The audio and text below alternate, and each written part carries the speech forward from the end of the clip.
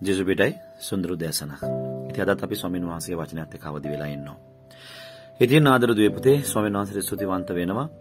අපිට උන්වහන්සේ ඊයේ කතා කරලා කිව්වා. ආලෝකයේ දරුවෝ සහ අන්ධකාරයේ දරුවෝ. ඉතින් දිනපතා උන්වහන්සේගේ මේ වචන අරහා අපේ ජීවිත උන්වහන්සේ බලාපොරොත්තු වෙන උස මහදට වර්ධනය වෙනවා. ඉතින් මේ මම පැවසුවා මම කිව්වා ගිය බ්‍රහස්පතින්දා ඉඳලා ටික දවසකට මේ දේ මට කරගන්න බැරි වෙනවා යාච්ඡා කාලයකට යන්න වෙන නිසා.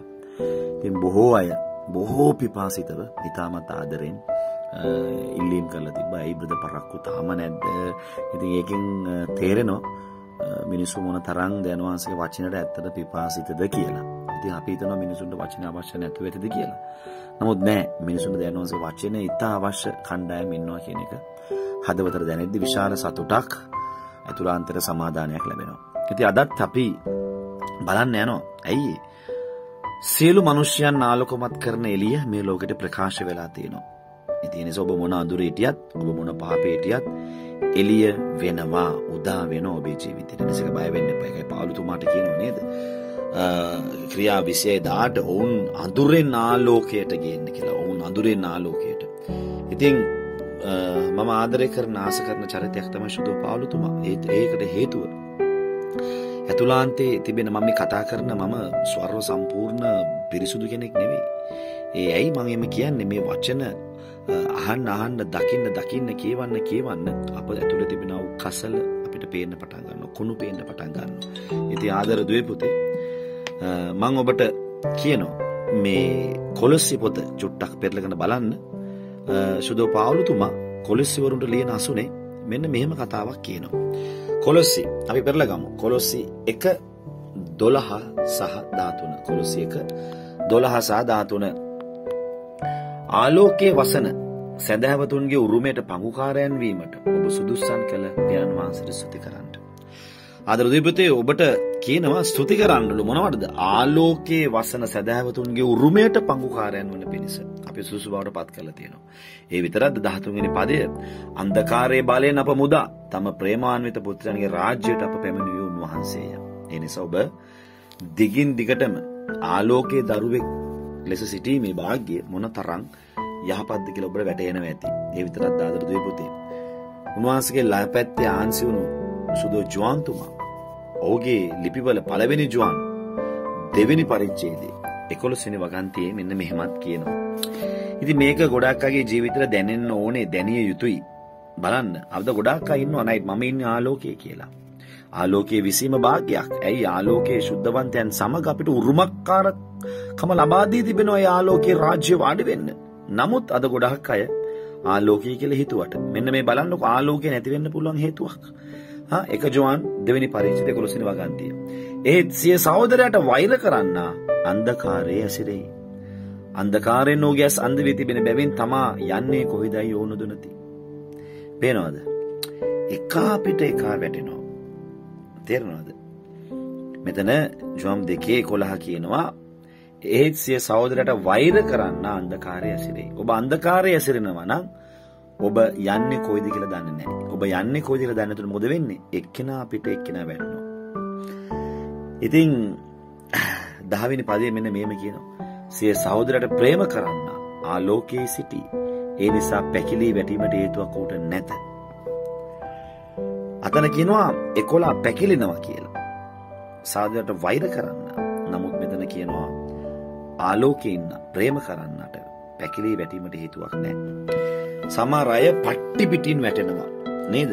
ඔබ ඔබ ඔබ අඳුරේ ඉද්දි ඔබ විතරක් නෙමෙයි ඔබගේ පසුපසින් යන සියල්ල වැටෙනවා. මේ හරි ලස්සනයි මෙතන බලන්න 9 වෙනි පදෙම කියන්නේ ආලෝකේ පවතිමි කියමින් සිය සහෝදරට වෛර කරන්න තවමත් අන්ධකාරයේ සිටිති. මෙන්න අද උදෑසන ඔබට උන්වහන්සේ කියනවා ඔබ අන්ධකාරයේද ආලෝකෙ දෙන්න කියලා බලන්න පුළුවන් එකම හේතුවක් මෙතන විතරයි.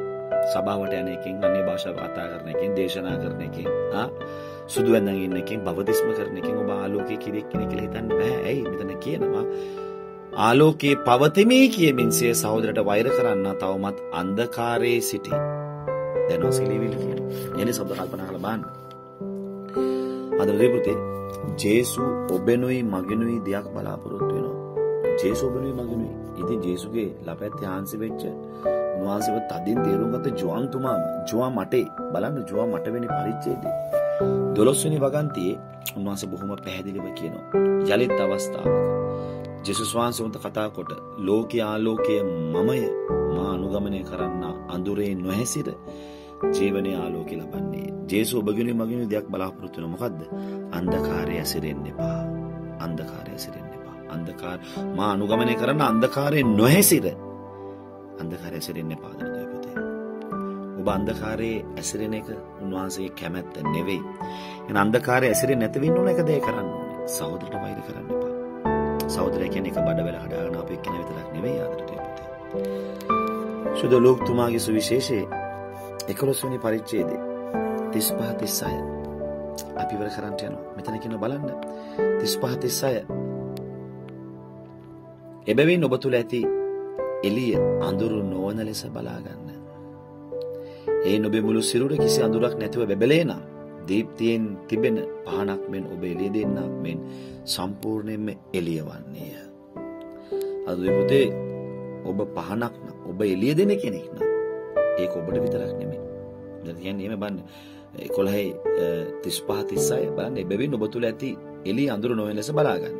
දෙවෙනි එක කියනවා ඒ ඔබේ මුළු සිරුර කිසි අඳුරක් නැතිව බැබලේ නම් දීප්තියෙන් දීප්තියෙන් දිලෙන පහනක් පහනක් ඔබට එළිය දෙන්නක් මෙන් එය සම්පූර්ණයෙන්ම එළිවන්නේය. ඉතින් පහනක් තබන්න තියෙන පහන් දුකක් මත කියලා තියෙනවා නේද? ඒ නිසා ආදරමිතයි දුවේ පුතේ ආලෝකයට ආපු ඔබ යක්ෂයාගේ මිදි ස්වර්ගයේ ආලෝකයේ සංඝයේ සමග වාඩි වෙන්න ආරාධනා ලැබපු ඔබ අනිත් අයටත් ඔබගේ ආලෝකය දෙන්න. ඒ මොකද මං කිව්වා සුදෝ පාවුලතුමා නේද? සුදෝ පාවුලතුමා එක කොරින්ති පොතේ 14 වෙනි පරිච්ඡේදයේ 6 වෙනි වගන්තියේ කියනවා මගෙන් කුමන ප්‍රයෝජනයක්ද ඔබට කියලා. ආ කියන්නේ මම මම කරන්න ඕන දේ කරන්න නැතුව මම වෙන දෙයක් කරනම් මොකද්ද මගෙන් ප්‍රයෝජනය කියලා. ඉතින් අහගන්න අන්ධකාරයේ ඉන්න මිනිසුන්ට ආ ඔබගෙන් ඇති ප්‍රයෝජනය මොකද්ද? ආ සභාවට ඔබගෙන් ඇති ප්‍රයෝජනය මොකද්ද? ආ ඔබත් ඔබෙන් අහලා බලන්න අන්ධකාරයෙන් ආලෝකයට ආපු මගෙන් සභාවට අන්ධකාරයෙන් ඉන්න මිනිසුන්ට මොන ප්‍රයෝජනයක්ද කියලා. උන්වහන්සේ කැමැත්ත ඔබ ආලෝකයේ ඉන්න. ඔබ උන්වහන්සේ කැමැත්ත ඔබ අඳුරේ ඇසිරෙන එක නෙවෙයි ආදරේ. එසේනම් අද උන්වහන්සේ තුල ඔබ තීරණයක් ගන්න. අපි නැගිටිමු. ස්වල බලදේ පැණි සුතිවන්ත වෙන ඔබ වහන්සේ ආනන්දගේ උතුම් වචනය නිසා ස්වාමීන් කතා කරනවා මාවත් අසල කීහිරෙන්නෝ මේ සියලු සෙනඟ වහන්සේ ආශිර්වාද කරන්න. ඔබව බාර කරනවා ජේසුස් ක්‍රිස්තුස් වහන්සේගේ නාමයෙන් නිසාය. ආමෙන්. ආමෙන්. ආමෙන්. ඉතින් අද දීපුගේ තවත් කරුණක් කියන්න තියෙනවා. 28 වෙනිදා මම ඊශ්‍රායල් දේශයට යන්න යනවා.